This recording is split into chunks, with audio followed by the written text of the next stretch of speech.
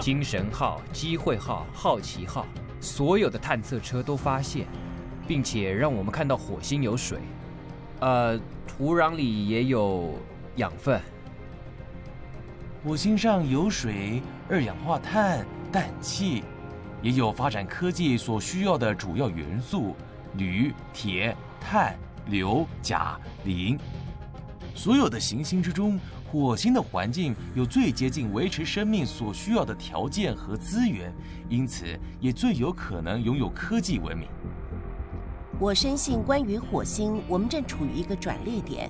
我们发送了卫星探测车，但现在我认为我们即将有决心、有意愿，也有科技，能把人类送上火星。